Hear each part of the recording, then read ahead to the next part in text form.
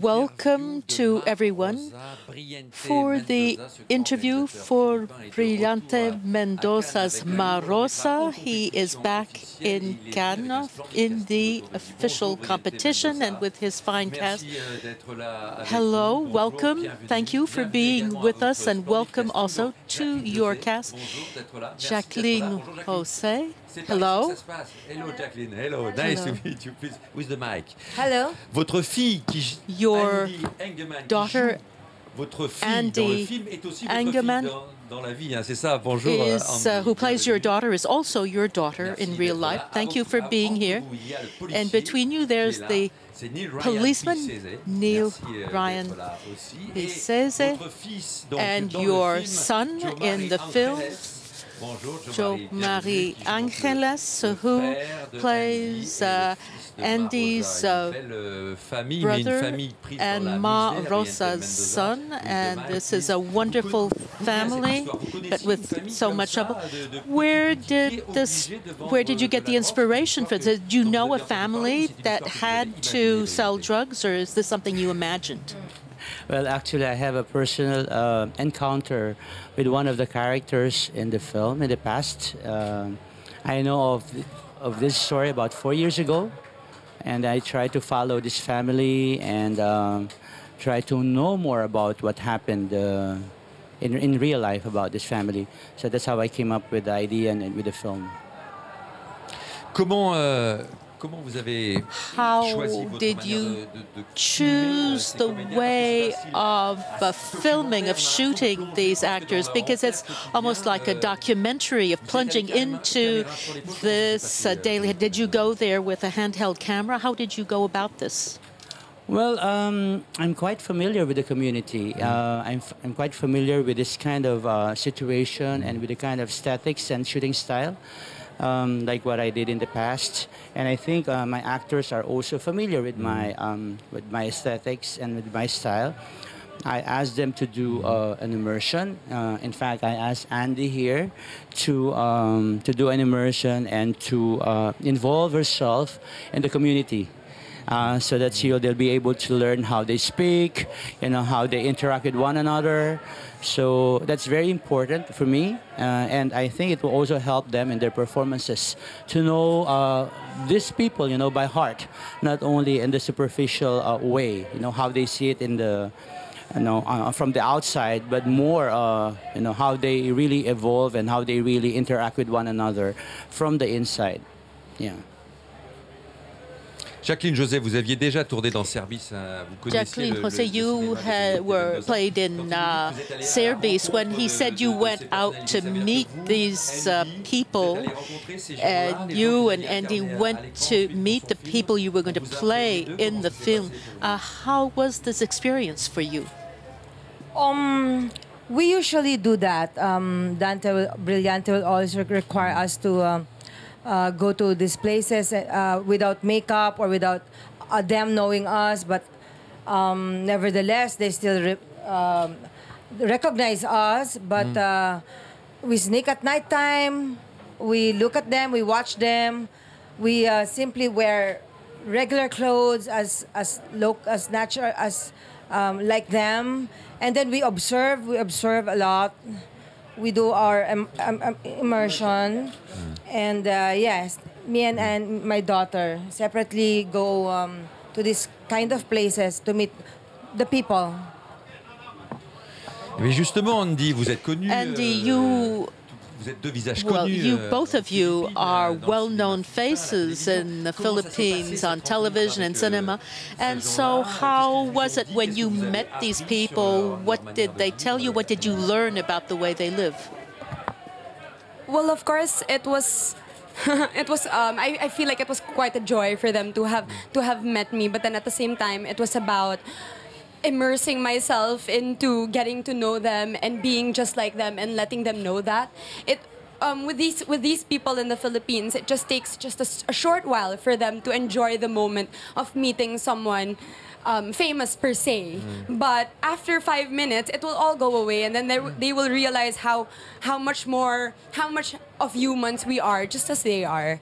It's more about just getting to know people from different parts of the Philippines. It's I feel like it's the same as it is anywhere else in the world when it comes to meeting people and trying to get to know how it is, how it how they how they're raised and how they've learned to live their lives. Thank you. Neil Ryan, vous avez rencontré des policiers, vous Euh, And des policiers uh, did comme on en you voit dans meet films, vous allez dans un uh, policemen? You went to a police station. How did you prepare your role? Uh, same thing. We have an immersion. We had an immersion. Uh, we stayed in a police headquarters for, for a day just to observe how they move, how they do their, their paperworks, and all the stuff that the policeman does. Yeah. On a une impression de, de, We de cinéma have a feeling of uh, Mendoza. On se rend compte que c'est des acteurs. On se pose cinema toujours la question uh, which est-ce que ce sont des shows acteurs, ce sont des- des vraies personnes, reality. euh, qu'il va filmer C'est Are ça la- la force these the, the strength of de leur- de your leur- de leur actors and the way you Mais en même temps, work is that you don't really know if they're euh, au sein de- actors or they are real people, but you euh, also have a statement to make uh, corruption à laquelle denouncing vous avez été the corruption of the police. Is this something you have experienced yourself? Well, it's not really this, the kind of same experience that they have experienced in the film, but uh, similar to that. I think as an artist, it's important for you to not just tell a story, but to feel the story yourself. It's also important for an artist, for a filmmaker, to make a statement. You know, that in every film that you make, it's not just about the story that you tell, but how you connect with the story that you're telling. And I think that's what makes it important, and that is what that, that what makes the film significant is when you connect with it, when you feel with your story, and that goes along with the you know with the rest of the cast, with the rest of the team, for as long as you know your objective. And I think that was very clear with my staff, with my actors. You know, they know what I'm doing, they know the kind of film I am into. Um, this is not a commercial film. This is, we are not here just to entertain. No. We are here to provoke. We are here to, you know, to to have an audience with critical thinking, and I think that's the that's that's the that's the main objective. You know, is is to have a discourse and also to have um, something to be bothered about. You know, cinema is not just about feeling good. Cinema is not just about uh, you know saying it's a good film and it's you're done. You leave the cinema and you clap and you go home. You know, cinema is about uh, when you go home you're bothered and, and, and and you also uh, you know for a while uh, it makes you think you know uh, as, as a human being un film choc, effectivement. il nous fait This réfléchir, il nous is a parce qu'on est this film is a shock. It's very On est touché moving. We're very deeply touched by Euh, the qui est un uh, character and fils included, fils, euh, de uh, including the uh, role of the qu'il vous a dit son. pour préparer, euh, What did Brillante qu'il vous a dit pour vous tell you to jouer les scènes que prepare your role, to prepare you qui ne sont pas to play the scenes that you played that are not easy at all? First of all, uh, I developed the character through the immersion, same as the other actors. And for the physical preparation, physical appearance of my character, I changed the color of my hair.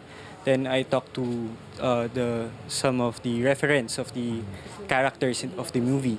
And for the the scenes of the uh, hard scenes for the movie, Direk Brillante made it uh, easier for me because uh, uh, it's just uh, we shoot it in a private place and not all of the staff are there. So it's it's easier for me to be more comfortable in uh, doing the scenes.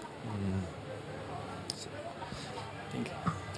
Ça vous a rassuré, oui. This was more J'imagine que vous avez des reassuring for you, I imagine, because you dans ce film. have Je veux pas trop very en- en private scenes. Rosset, vous avez l'impression quand vous faites un I don't want to say too much. Uh, uh, Jacqueline Rosset, when you vérité de ce qui se make a film with Manille. Brillante Vous uh, Mendoza, do you have the feeling of telling the truth de ce que about life in que vous montrez à Manila, l'image, uh, being ce qui se at the heart, at the core of what's going on in Manila?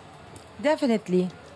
I have to follow everything what Brillante will ask me to do. I have to, you know, sometimes as an actress, you don't want to look like the the characters you're portraying, but with Br- Brillante, you can't do anything but to, ob- to obey him. You have to wear you, no makeup. You have to look the the, the, the character. I can't cheat. I can't cheat. I can't even even put a little bit lipstick or blow, blow, blow dry my hair. I can't. I have to look the character, the natural, and I have to follow everything what will Dante uh, Brillante will say.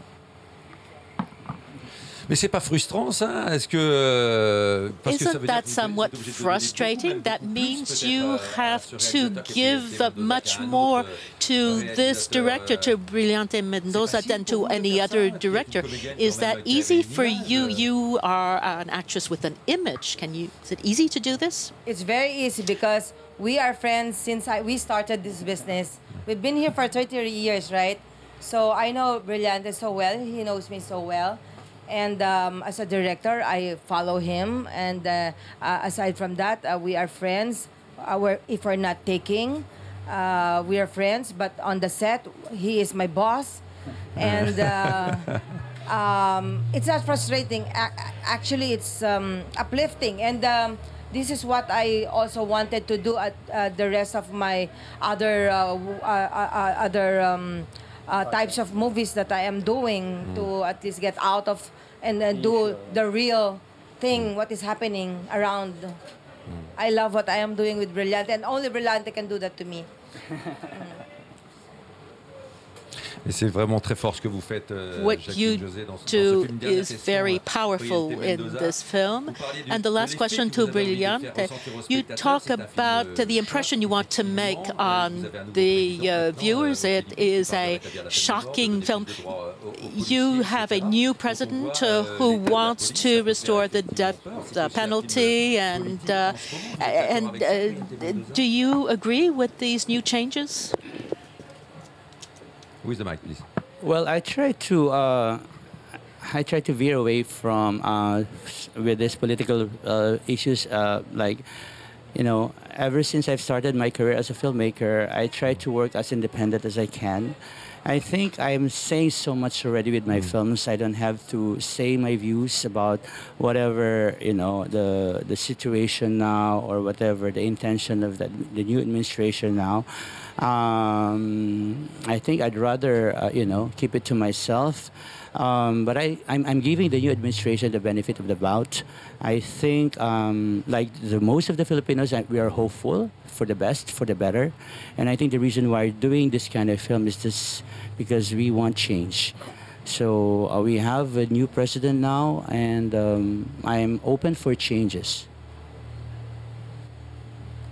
Nous, nous sommes très ouverts à votre cinéma. And we are very open to your cinema. Congratulations to you, to your cast, to your actors, and uh, congratulations uh, to all of you. You're wonderful actors, and thanks to